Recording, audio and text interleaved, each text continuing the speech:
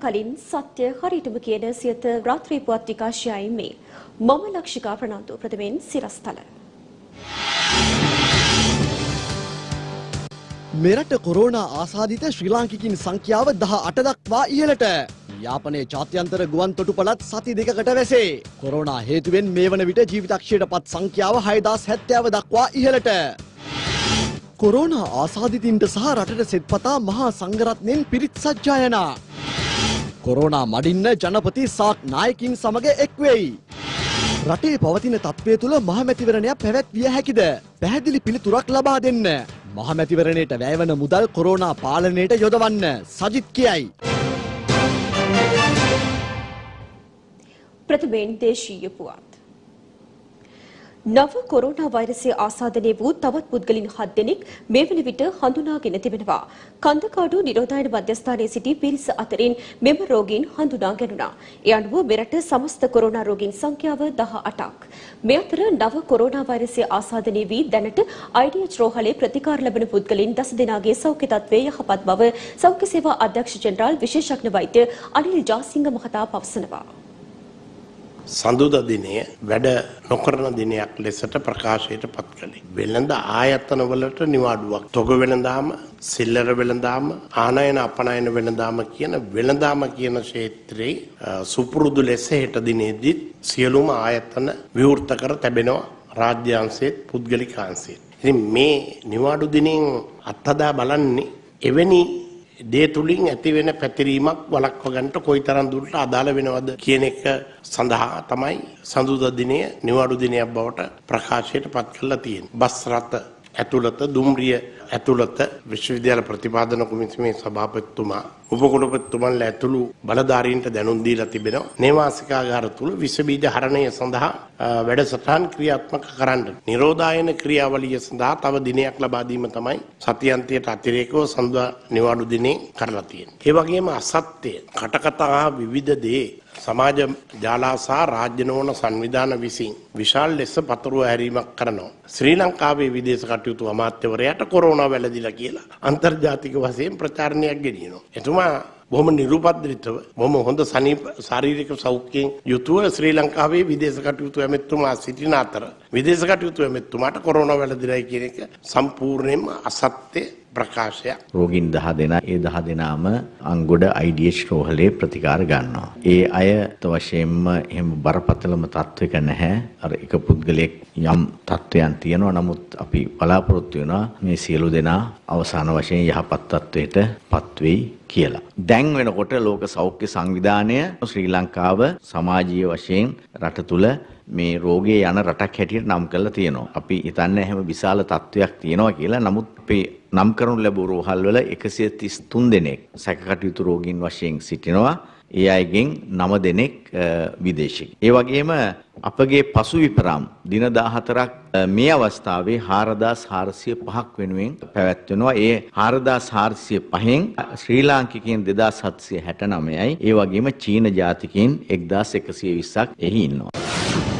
Police මූලස්ථානයේ ස්ථාපිත කර තිබෙනවා විශේෂ මෙහෙයුම් මැදිරියක් කොරෝනා වෛරසය ආශ්‍රිත සිද්ධීන් ඒ වගේ මේවා දැනුම් දීමට හැකිවන ආකාරයට පහසු කිරීම සඳහා. ඒ විශේෂ මෙහෙයුම් මැදිරියට අදාළව දුරකථනාංක පහක් තියෙනවා. ඒ වගේම විද්‍යුත් තැපෑලක් තිබෙනවා. යම් කිසි අවස්ථාවක කාට හරි ඔබ සැක කරනවා නම් මේ වෛරසය වැළඳිලා තියෙනවායි කියලා ඒ අයට පුළුවන් දැනුම් දෙන්න මේ අංකයකට. මේ රෝගය වැළඳිලා එහෙම නැත්නම් වැළඳුණු බවට සැක කරලා තමන් ඒ ගැන ප්‍රකාශ කරන්නේ නැතුව ජනතාව අතර ගැවසෙනවා නම් තව කෙනෙක් සංගවන්න උත්සාහ කරනවා නම් එය මේ රෝග නිරෝධායන සහ වැළැක්වීම පිළිබඳ ආඥා පනතේ හතරවෙනි වගන්තිය යටතේ වගේම ඊට අදාළ රෙගුලා කුලාසි යටතේ වරදක් සිදු කරනවා මාස 6ක හිරදඬුවමක් ලබා දීමේ හැකියාවක් තිබෙනවා. යම් කිසි කෙනෙකුට නිරෝධායන මධ්‍යස්ථානයකට යන්න කියලා සෞඛ්‍ය බලධාරීන් උපදෙස් දීලා තියෙද්දි පැනලා යනවා නම් එවැනි අනකට අකීකරු වෙලා කටයුතු කරනවා නම් වරෙන්තුවක් නොමැතිව අත්අඩංගුවට ගැනීමට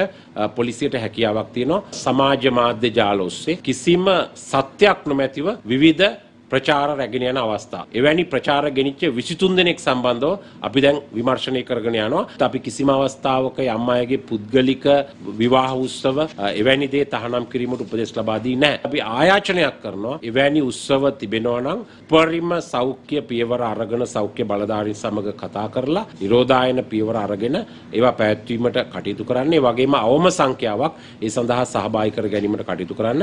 නමුත් පොදුවේ පිට්ටනිවල තියෙන විශාල උත්සව නැවැත්වීමට අපි පියවරගෙන තිබෙනවා මේ රෝගයේ පැතිර යාම වැළැක්වීම සඳහා. කොවිD-19 වෛරසය හේතුවෙන් එක්සත් රාජධානිය නෝර්වේ සහ බෙල්ජියමේ සිට ශ්‍රී ලංකාවට පැමිණෙන සියලු ගුවන් ගමන් හෙට සිට සති දෙකක කාලයක් අත්හිටුවා ඇති බව සිවිල් ගුවන් සේවා අධිකාරිය පවසනවා. මේ අතර යාපනයේ ජාත්‍යන්තර ගුවන් තොටුපළද తాවකාලිකව වසා දමා තිබෙනවා.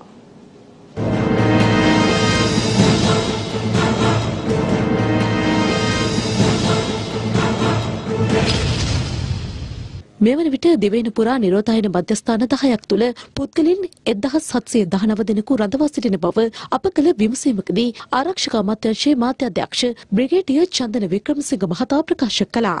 මේ අතර කොරෝනා වෛරසය පිළිබඳ වෛද්‍ය පරීක්ෂණ සිදු කර ගැනීම සඳහා රජයේ රෝහල් 15ක් නිර්දේශ කර ඇති බව සෞඛ්‍ය අමාත්‍යාංශය පවසනවා.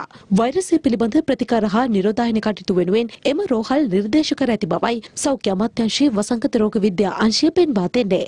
ඒ අනුව IDH රෝහල, කොළඹ ජාතික රෝහල, මහනුවර ජාතික රෝහල, රිජ්වේ ආර්යා ළමා රෝහල, දසොයිසා මාතෘ රෝහල, රාගම, කරප්පිටිය, යාපනය, මඩකලපුව, රත්නපුර සහ අනුරාධපුර යන ශික්ෂණ රෝහල්වල මෙන්ම කුරුණෑගල, බදුල්ල, ගම්පහ සහ මීගමුව යන මහ රෝහල්වල මේ සඳහා පහසුකම් සලසා ඇති බව සඳහන්. මේ අතර COVID-19 හෙවත් නව කොරෝනා වෛරසය රට තුළ ව්‍යාප්ත වීම සැලකිල්ලට ගනිමින් හෙට දිනය රජයේ නිවාඩු දිනයක් ලෙස ප්‍රකාශයට පත් කර තිබෙනවා. එමෙන්ම හෙට දිනය රාජ්‍ය අංශයට අමතරව බැංකු සහ වෙළඳ නිවාඩු දිනයක් ලෙසද ප්‍රකාශයට පත් කිරීමට කටයුතු කළ බව රජයේ ප්‍රවෘත්ති දෙපාර්තමේන්තුව සඳහන් කළා. මේ අතර ජාතික සත්වෝද්‍යාන දෙපාර්තමේන්තුව, උද්භිද උද්‍යාන දෙපාර්තමේන්තුව, වනජීවී සංරක්ෂණ දෙපාර්තමේන්තුව සහ වන සංරක්ෂණ දෙපාර්තමේන්තුව යන ආයතන යටතේ පවතින ජාතික උද්‍යාන සහ උද්භිද උද්‍යාන ඉදිරි සති දෙක තුළ වසා තැබීමට පරිසර සහ වනජීවී සම්පත් අමාත්‍යාංශය තීරණය කර තිබෙනවා. මේ අතර වහම ක්‍රියාත්මක වන පරිදි සති දෙකක කාලයක් සඳහා යාපනයේ ජාත්‍යන්තර ගුවන් තොටුපළ වසා දැමීමට කටයුතු කළ බව සිවිල් ගුවන් සේවා අධිකාරිය පවසනවා. ඒ රට පුරා කොරෝනා තත්ත්වය ව්‍යාප්ත වීමේ අවධානම සලකමින් එමෙන්ම රට තුළ පවතින කොරෝනා වසංගතය පැතිරීමේ අවධානම් තත්ත්වය හේතුවෙන් ඉදිරි සති දෙකක කාලයක් තුළ දේශීය වන්දනා ගමන් සංචාර සහ චාරිකාවන්හි නිරතවීමෙන් වළකින ලෙස බුද්ධ ශාසන සංස්කෘතික සහ ආගමික කටයුතු අමාත්‍යාංශයේ ලේකම් බන්දුල හරිස්චන්ද්‍ර මහතා ජනතාවගෙන් ඉල්ලීමක් කර සිටිනවා. මේ අතර කොළඹ මධ්‍යම බස් නැවතුම්පලෙන් පිටත් වන සියලුම ළංගම බස් රථ හෙට දිනේ සිට නිරෝධායනයකට ලක් කිරීමට පියවරගෙන තිබෙනවා. යුරෝපීය රාජ්‍යයක් වූ ප්‍රංශයට සහ ඉතාලියටද COVID-19 වෛරසය හේතුවෙන් හදිසි තත්ත්වයක් ප්‍රකාශයට පත් කර තිබෙනවා. අත්‍යවශ්‍ය සැපයුම් මෙන්ම ඖෂධ මිලදී ගැනීමට මෙන්ම රැකිය කටයුතු හැරෙනට ස්පාඤ්ඤ ජනතාවට නිවස් වලින් බැහැරට යාම තහනම් කර ඇති බවයි විදෙස් මාධ්‍ය පවසන්නේ. COVID-19 වෛරසය හේතුවෙන් පුද්ගල මරණ 191ක් ස්පාඤ්ඤයෙන් වාර්තා වනවා. ඉතාලියෙන් පසු යුරෝපයේ දරුණුතම බලපෑම ස්පාඤ්ඤයට බලපා තිබෙනවා. මේ අතර පවතින වෛරස් තත්ත්වයේ හේතුවෙන් ප්‍රංශීය පුද්ගලින් 91 දෙනෙකු ජීවිතක්ෂයට පත් වී තිබෙනවා. ඒ හේතුවෙන් ප්‍රංශයේද අවන්හල් සහ සිනමා ශාලා වසා දැමීමට එරට රජය පියවරගෙන තිබෙනවා. මේ අතර අද වන විට ඉතාලියෙන් වාර්තා වන මරණ සංඛ්‍යාව 1440ක් දක්වා ඉහළ ගොස් ඇති බවයි විදෙස් මාධ්‍ය පවසන්නේ. ලෝක සෞඛ්‍ය සංවිධානය පවසන්නේ යුරෝපය මේ වන විට COVID-19 වෛරසයේ කේන්ද්‍රස්ථානයේ බවට පත්වී ඇති බවයි. මේ අතර ඕස්ට්‍රේලියාව අද මධ්‍යම රාත්‍රියේ සිට ක්‍රියාත්මක වන පරිදි රට තුළට ඇතුළු වන ඕනෑම පුද්ගලයෙකු දින 14ක කාලයක් නිරෝධායනයකට ලක් කිරීමට පියවරගෙන තිබෙනවා. නවසීලන්තයද එලෙසම දින 14ක කාලයක් රට තුළට පැමිණෙන පුද්ගලයන් නිරෝධායන කිරීමට වැඩපිළිවෙලක් සකස් කර ඇති බවට විදෙස් මාධ්‍ය තොරතුරු වාර්තා කළා. මේ අතර දකුණු කොරියාවෙන් අද වන විට නව රෝගීන් 76 දෙනෙකු වාර්තා වී තිබෙනවා. ආසාදිත පුද්ගලින් කිහිප දෙනෙකු ඇසුරු කර තිබීම හේතුවෙන් COVID-19 වෛරසයට ගොදුරු වී ඇද්ද නැද්ද යන්න පිළිබඳව දැනගැනීම සඳහා අමරිකානු ජනාධිපති ඩොනල්ඩ් ට්‍රම්ප්ද වෛද්‍ය පරීක්ෂණයකට මුහුණ දී තිබෙනවා. කෙසේ වෙතත් ජනාධිපතිවරයාට වෛරසය ආසාදිත වී නොමැති බව එහිදී තහවුරු වුණා. මෙවන විට අමරිකානුවන් 50කට වැඩි පිරිසක් COVID-19 වසංගතයේ හේතුවෙන් මියගොස් ඇති අතර ඒ හේතුවෙන් අමරිකානු ජන ජීවිතය බෙහෙවින් අඩාල වී තිබෙනවා. මේ අතර ස්පාඤ්ඤ අග්‍රාමාත්‍ය පෙඩ්‍රෝ සංචෙස්ගේ බිරිඳ වන බෙගොන්යා ගෝමෙස්ටද කොරුණා වෛරසය අසාධනය වී ඇති බව එරට රජය ඊයේ තහවුරු කළා. කෙසේ නමුත් අග්‍රාමාත්‍යවරයා සහ බිරිඳ මැඩ්‍රිඩ් නුවර අගමැති නිවහටේ තවදුරටත් රැඳි සිටින බවයි ස්පාන්‍ය රජය සඳහන් කළේ. එමෙන්ම මාසයක කාලයක් පුරා පිලිපිනේ මැලිලා අගනුවර හුදකලා කිරීම අදින් ආරම්භ වූ අතර ආයුධ සන්නද්ධ පොලිස් නිලධාරීන් නගරයට ඇතුළු වන ප්‍රධාන මාර්ග අවහිර කරමින් විදෙස් මාධ්‍ය වාර්තා කර තිබෙනවා. කොරෝනා වෛරස් ව්‍යාප්තිය පිළිබඳව දකුණු ආසියානු රටවල රාජ්‍ය නායකයින්ගේ වීඩියෝ සංවාදයක් අද පස්වරුවේ පැවැත්වුණා. එහිදී ජනාධිපති ගෝඨාභය රාජපක්ෂ මහතා ප්‍රකාශ කර සිටියේ කොරෝනා වෛරස් ව්‍යාප්ත වීම වැළැක්වීමට ගත හැකි සෑම පියවරක්ම ගන්නා බවයි. කොරුණා වෛරස ව්‍යාප්තිය පිළිබඳව සා කලාපය රටවල රාජ්‍ය නායකින් අතර වීඩියෝ සංවාදයක් අද පස්වරුවේ ආරම්භ වුණා. ඒ කොරුණා වෛරසයට එරෙහිව සටන් වැදීම සඳහා ශක්තිමත් ක්‍රමෝපායක් සැකසීමට දකුණු ආසියාතික රටවල නායකත්වය එක්විය යුතු බවට ඉකුද්දා ඉන්දියා අග්‍රාමාත්‍ය නරේන්ද්‍ර මෝදි මහතා සිදු කළ ප්‍රකාශයේ ප්‍රතිඵලයක් ලෙසයි. ඊට ප්‍රතිචාර දක්වමින් ජනාධිපති ගෝඨාභය රාජපක්ෂ මහතාද මෙම සංවාදය සඳහා එක්වීමට තීරණය කළා. Good evening, Excellencies. මම ප්‍රථමයෙන්ම ස්තුතිවන්ත වෙනවා ඉන්දිය අග්‍රාමාත්‍ය නරේන්ද්‍ර මෝදි මහතාට අපේ අදහස් අරගෙන මෙම වෛරසය පිළිබඳව සාකච්ඡාවක් පැවැත්වීමට කටයුතු සකස් කිරීම පිළිබඳව අපට තියෙන අභියෝගය මෙම වෛරසය රටට ඇතුළු වීම වළක්වා ගැනීම සහ මෙම වෛරසය පාලනය කිරීම. මේ වැඩිම ශ්‍රමිකින් සංඛ්‍යාවක් සිටින්නේ ඉතාලියේ සහ දකුණු කොරියාවේ. අපි ඔවුන් මෙරටට ගෙන්වගෙන නිරෝධායනය සඳහා යොමු කර තිබෙනවා. අප රටේ කොරෝනා වෛරසය පළමුවෙන්ම ආසාදනය වුණේ චීන ජාතික කාන්තාවකට. අපට හැකි වුණා ඇයව සුව කර නැවත රට බලා පිටත් කිරීමට. පළමු ශ්‍රී ලාංකික රෝගියා ලෙස වාර්තා වූයේ සංචාරක මඟ පෙන්වන්නෙකු. අපට හදිසි අවස්ථාවකට මුහුණ දීම සඳහා මේ වන විට අපි සියලු රෝගල් සූදානම් කරමින් සිටිනවා. අප මෙම වෛරසය පිළිබඳව ජනතාව දැනුවත් කිරීමට හැකි සෑම ආකාරයෙන්ම දැනුවත් කර තිබෙනවා. මේ වන විට මෙරට පාර්ලිමේන්තුව විස්තරුවා හැර තිබෙනවා. කෙසේ වෙතත් මේ වන විට මැතිවරණ ජනහමු පැවැත්වීමද අප අවලංගු කර තිබෙනවා. සියලු සාක් රාජ්‍යනායකින් එක්ව මෙම වෛරසය මැඩ පැවැත්වීම සඳහා ඉදිරියටත් එක්ව කටයුතු කළ යුතුයි. අප මේ මොහොතේ සාක් රටවල් එක්ව ආර්ථිකය ශක්තිමත් කිරීමට නැගී සිටිය යුතුයි. SARC leaders to formulate a mechanism to assist our economies to tide over this very difficult period. රටේ පවතින අවදානම් සහිත තත්ත්වයේ හේතුවෙන් නැවත දැනුම් දෙනතුරු සියලු මහජන රැස්වීම් නතර කිරීමට සමගි ජනබලවේගයේ නායක සජිත් ප්‍රේමදාස මහතා තීරණය කර තිබෙනවා. එය අද පස්වරුවේ මාධ්‍ය නිවේදනයක් නිකුත් කරමින් මේ අතර අද කොළඹදී පැවති මාධ්‍ය හමුවකට එක්වමින් මේ මහතා ප්‍රකාශ කළේ රටේ පවතින තත්ත්වය හමුවේ මහමැතිවරණය පැවැත්වීමට හැකිදැයි රජය පැහැදිලි පිළිතුරක් ලබා දිය යුතු බවයි. කරුණා කරලා දැන් හෙඩ්ලයින් ගහන්න එපා මැතිවරණ නවත්තන්නයි කිව්වයි. නමුත් මම අහන්නේ මේ වගේ තත්ත්වයන් තුල මැතිවරණ කරන්න පුළුවන්ද? මැතිවරණ කළ හැකිද? කරුණා කරලා ඒකට උත්තරයක් දෙන්න. පිරිසිදු විසඳුමක් ලබා දෙන්න. වේදිකාවක් ගහන්න බෑ, කතාවක් කරන්නට බෑ, ජනතාව ආමන්ත්‍රණය කරන්නටත් බෑ. ආවරණය වුණු හෝල් වලත් රැස්වීම් තියන්නට බෑ. සති දෙකක් රැස්වීම් තහනම්. ඒක හරි. ඒක නිවැරදි. ඊටත් වැඩිය පුළුල් තීන්දුව తీරන ගන්නට ඕන තත්ත්වයේ බරපතල තත්ත්වයකට පත්වන්නට පෙර රටක් පාලනය කරනකොට වැඩිපුර අසුභවාදීව සිදුවෙනවයි කියලා හිතන නරක දේ ගැන පොඩ්ඩක් වැඩියෙන් හිතන්නට ඕන. මුව ආවරණ දාලා ඡන්දදායකයන්ට අපේ මුහුණුවක් පේන්නේ නැති වෙන්න ඡන්දදායකින්ට අතට අතට දෙන්න බැරුව මේ අත් ආවරණ එහෙම නැත්නම් ග්ලව්ස් දාගෙන එතකොට ඒව ඇඳගෙනද මැතිවරණ කරන්න කියන්නේ. ඉතින් පැහැදිලිව අපිට පිරිසිදු තීන්දුවක් අවශ්‍යයි. කතා කරන්නේ නැතුව නිද්‍රාශීලීව සිටීම බොහොම බරපතල වරදක් මේ රජයක. මේ තුනෙන් දෙක ගැන හිතේ තියාගෙන තුනෙන් දෙක දෙන්නත් මිනිස්සු ඉන්නට ඕනේ. මිනිස් ජීවිතවලට දෙන්න ඕන ප්‍රමුඛ ස්ථානය ලබා දෙන්න. නරකද මැතිවරණයක් වෙනුවෙන් වැය කරන මුදල් ටික අපි යොමු කරොත් කොරෝනා වෛරසය විනාශ කිරීම සඳහා ගත යුතු සියලුම විධිමත් ක්‍රියාමාර්ග ක්‍රියාත්මක කරන්න. මැතිවරණ තියන්න පුළුවන්. මැතිවරණ ඕන වෙලාවක තියන්න පුළුවන්. මැතිවරණ වල ප්‍රශ්නයක් නැහැනේ. කොරෝනා වෛරස් ව්‍යාප්තිය පාලනය කිරීම සඳහා ලබන 18 වනදා සිට දින 7ක් රතන සූත්‍රය සජ්ජායනා කර රටට සෙත්පතා ආශිර්වාද කිරීමට තීරණය කර ඇති බව අස්කිරි පාර්ශවයේ මහානායක අතිපූජ්‍ය වරකාගොඩ ශ්‍රී ඥානරතන මහානාහිමියන් පවසනවා. උන්වහන්සේ මේ බව ප්‍රකාශ කළේ අද මහනුවර ප්‍රදේශයේ පැවති මාධ්‍ය හමුවකදී.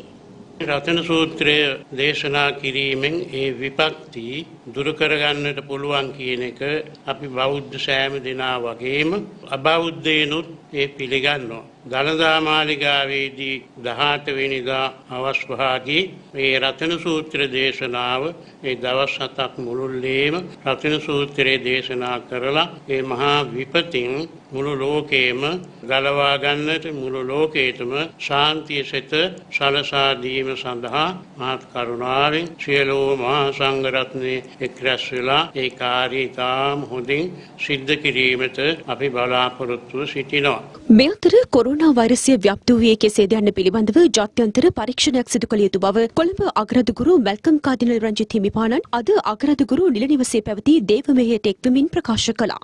සමහර විද්‍යාගාරවල රාශිගතව සිදුවන අත්හදා බැලීම් තුළින් තමයි මේ වගේ විෂබීජ ලෝකය තුළ පැතිරිලා යන්නේ. මේවා සිදු කරන්නේ මේ දුප්පත් රටවල් වල මිනිස්සු නෙමෙයි. මේවා සිදු කරන්නේ පොහොසත් රටවල් වල ඉතාමත්ම දියුණුයි කියලා කියා ගන්න රටවල් වල විද්‍යාගාර පර්යේෂණාගාර වගේ තැන්වල. මේ විස බීජ පැතිරවීම මෙවැනි දේවල් නිෂ්පාදනය කිරීම මනුෂ්‍ය වර්ගයාට විරුද්ධව කරන විතාමත්ම භයානක අපරාධයක් මේ කොරෝනා විෂබීජ ඇති වුණේ කොහොමද කියන එක ගැන ජාත්‍යන්තර මට්ටමේ පරීක්ෂණයක් පැවැත්විය යුතුයි. මේ අතර එක්සත් ජාතික පක්ෂ නායක හිටපු අග්‍රාමාත්‍ය රනිල් වික්‍රමසිංහ මහතා විසින් ජනාධිපති ගෝඨාභය රාජපක්ෂ මහතා වෙත ලිපියක් යොමු කර තිබෙනවා. එම ලිපියෙන් උපුටා ගැනීම. සිංහල සහ දෙමළ අලුත් අවුරුද්ද පාස්කුව රාමසාන් ආදී උත්සව සමයන්ට මහා මැතිවරණයද ඉදිරියේදී එළඹෙන බැවින් වෛරසය පැතිරීම වේගවත් වී කුඩා ව්‍යාපාරිකින් ගොවින් රජය හා පුද්ගලික අංශ සේවක සේවිකාවන්ට මෙන්ම පොදු මහජනතාවටද පීඩා සිදුවනු ඇත. එසේම රෝග ව්‍යාප්තිය වැළැක්වීම සහ මේ වසංගත තත්ත්වය නිසා මතුවන සමාජ ආර්ථික ගැටලු අවම කර ගැනීමට නම් සියලු දෙනාට පිළිගත හැකි පරිපූර්ණ සැලසුමක් අවශ්‍ය බව මාගේ විශ්වාසයයි. ඒ නිසා සියලු දේශපාලන පක්ෂ නායකින් සහ අදාළ ආයතන හා අධිකාරීන් කැඳවා සියලු දෙනාගේ අදහස් සැලකිල්ලටගෙන මහජනතාවට හා අනිකුත් සියලු පාර්ශවයන්ට පිළිගත හැකි පරිපූර්ණ සැලැස්මක් සකස් කිරීමට පියවර ගන්නා ලෙස ඉල්ලා සිටිනු කැමැත්තෙමි. උපුටා ගැනීම අවසන්. මේ අතර හිටපු කතානායක කරු ජයසූරිය මහතාද කොරෝනා වෛරස ව්‍යාප්තිය සම්බන්ධයෙන් මාධ්‍ය නිවේදනයක් නිකුත් කර තිබෙනවා. එම මාධ්‍ය නිවේදනයෙන් උපුටා ගැනීම මෙවන් ජාතික ව්‍යසනයක් හමුවේ රටවැසියන් එකමුතුව වගකීමෙන් යුතුව බුද්ධිමත්ව ක්‍රියා කිරීමත් දේශපාලන නායකත්වය පටු අරමුණු වලින් තොරව නිවැරදි තීන්දුව తీරන ගැනීමත් පැහැර හැරීමට නොහැකි වගකීමක්. මෙම බිහිසුණු අවස්ථාවේ සියලු පාර්ශවයන්හි අදහස් ලබා ගැනීම සඳහා සර්වපාක්ෂික ජාතික සමුළුවක් කැඳවීම හෝ පාර්ලිමේන්තුව කැඳවීම වැදගත් වනු ඇති බව පෙනී යයි. එබඳු ප්‍රවේශයක් කෙරෙහි හැකි ඉක්මනින් අවධානය යොමු කරන ලෙස ගරු ජනාධිපතිතුමන් ඇතුළු රජයට සද්භාවයෙන් හා ගෞරවයෙන් යුතුව සිහිපත් කරමි. හිටපු කතානායක කරු ජයසූරිය. උපුටා ගැනීම අවසන්. හෙට දිනේ රජයේ නිවාඩු දිනයක් ලෙස ප්‍රකාශයට පත් කර ඇති බැවින් ඉදිරි මහමැතිවරණය සඳහා අප මුදල් බාර ගැනීම හෝ නාම යෝජනා බාර ගැනීම සිදු නොකරන බව මැතිවරණ කොමිසමේ සභාපති මහින්ද දේශප්‍රිය මහතා ප්‍රකාශ කළා. එය අද පසුවරුවේ මාධ්‍ය වෙත අදහස් දක්වමින්. මැතිවරණ කොමිෂන් සභාව නිකුත් කළ මාධ්‍ය නිවේදනයෙන් උපුටා ගැනීම. මේට පෙර නිවේදනය කළ පරිදි මාර්තු 17 18 යන දින දෙකෙහි කාර්යාල වේලාවන් තුල හා මාර්තු 19 වන දින පෙරවරු 8:30 සිට මධ්‍යහන 12 දක්වා අප මුදල් බාර ගැනීම සහ නාම යෝජනා බාර ගැනීම සිදු කෙරෙනු ඇති බවද වැඩිදුරටත් දන්වා සිටිනු ලැබේ. උපුටා ගැනීම අවසන්. මාර්තු 19 වෙනි දින නාම යෝජනා බාර ගැනීමේ කටයුතු සහ විරෝධතා දැක්වීමේ අදාළ කටයුතුද? ඒ පිළිබඳව තීරණ ගැනීමේ කටයුතු අවසන් වූ පසු තේරීම් බාර නිලධාරීන් විසින් දන්වා එවනු ලබන තොරතුරු අනුව මැතිවරණ කමිෂන් සභාව විසින් ඡන්ද විමසීමේ දැන්වීම 1981 අංක 1 දරන පාර්ලිමේන්තු මැතිවරණ පනතේ විසි හතර එක වගන්තේ යටතේ ප්‍රසිද්ධ කරනු ලැබෙනු ඇත. තැපල්කම් තාච කිරීම සඳහා වූ ඉල්ලුම් පත්‍ර මාර්තු දාහත්වනි දින මධ්‍යමරාත් දොලා දක්වා භාර ගැනීමට කටයුතු කරන ලෙස ඒ ඒ දිස්ත්‍රික්කයි මැතිවරණ බලධාරීන් වෙත උපදෙස් දී ඇත. මාර්තු දාහත දහට දහනමය යන දිනයන්නිදී නාම යෝජනා භාරදීමට පැමිණෙන දේශපාලන පක්ෂවල ලේකම්වරුන්ගේ බලලත් නියෝතියන්ගෙන් පමණක්ද නාම යෝජනා ශාලාවතු කැඳවාගෙන. එමෙන්ම නාම යෝජනා ශාලාව අවට බගේ ආධාරකරුවන් රැස් කරවීමෙන් කැඳවීමෙන් වලකින ලෙසද තා ඕනෑකමින් ඉල්ලා සිටිනවා. ඒට හේතු දෙකක් එකක් මැතිවරණ නීතිී යටතේ පෙළපාලිය එවැනි නීතිවිරෝධී රැස්වීම් පැවැත්වීම තානම්. මේ අතර අමාත්‍ය මහින්ද අමරවීර මහතා සහ හිටපු රාජ්‍ය අමාත්‍ය රොෂාන් රණසිංහ මහතා සිය නාම යෝජනා පත්‍රයට අද අත්සන් තබනු ලැබුවා. පාර්ලිමේන්තු මැතිවරණය කල් දැමීම සිදු කළ යුත්තේ අදාළ විද්වත් බලධාරීන් විස දේශපාලඥයින් නොවන බව හිටපු පාර්ලිමේන්තු මන්ත්‍රී පාලිත රංගි බණ්ඩාර මහතා පවසනවා. ඒ සිරිකොත පක්ෂ මුලස්ථානයේ අද පැවති මාධ්‍ය හමුවකදී. ඊයේ සමගි ජන බලවේගයේ නායකතුමා සඳහන් කරනවා ආණ්ඩුවත් එක්කලා කොරෝනා ඩීල් එකක් දාලා ඡන්ද කාල දාන්න හදනවා කියලා. බලන්නකො මේ වගේ කතන්දර. මෙහෙම මහජන නියුත ඉන්නවද? මෙහෙම නායකයෝ ඉන්නවද කියලා? ආණ්ඩුවක් කොරෝනා ඩීල් දාන්න. මේ චෝදනාව කරන්නේ ආණ්ඩුවට. බැඳුම් කරයත් එක්කලා ගත්තාම බැඳුම් කරේ විවිධ පොත්පත් ලිව්වේ කවුද? ඩීල් දැම්මේ කවුද? කොකාමක් දැම්මේ කවුද? කාකපාද දැම්මේ කවුද? ටෙලිෆෝන් කෝල් 63 70 දුන්නේ කවුද? මේවා පිළිබඳව මේ රටේ ජනතාව මැරලා ඉපදිලා නෙමෙයි හැමෝටම අවබෝධයක් තියෙනවා. රටක ව්‍යසනයක් එනවා නම් විපත්තිදායක තත්ත්වයක් එනවා නම් වැදගත් වෙන්නේ අනෙක් කටයුතුද? මේ රටේ ඉන්න ජනතාව බේරා ගැනීමද කියන එක අපේ මහජන නියුතු ජනතා නායකයෝ තීන්දු කරන්නට ඕන.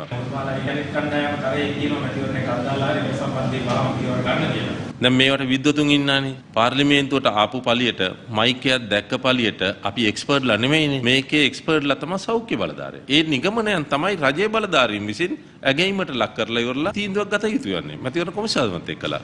එහෙම නැතු මේ කවුරුහරි മന്ത്രിතුමෙක් හරි හිටපු മന്ത്രിතුමෙක් හෝ හිටපු අපේක්ෂකයෙක් හෝ එහෙම කෙනෙක් කියන එක නෙමෙයිනේ වළංගු වෙන්නේ.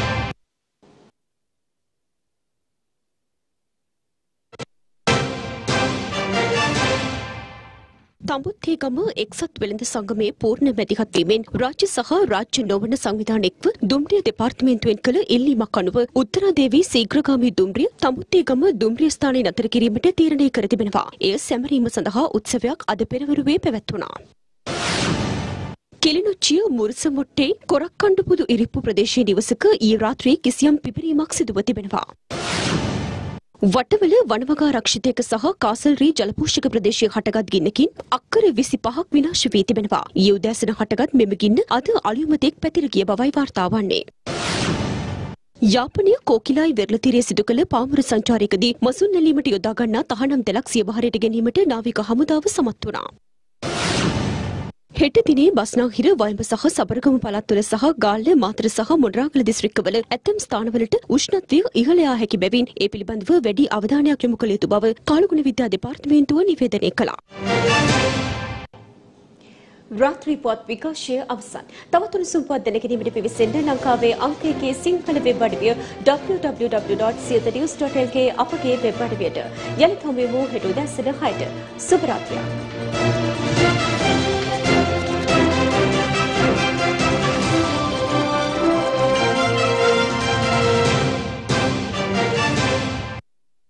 දිනපතා අලුත් වීඩියෝ සහ ප්‍රවෘත්ති නැරඹීමට ඉහත බටන එක ක්ලික් කර සියත TV සබස්ක්‍රයිබ් කරන්න.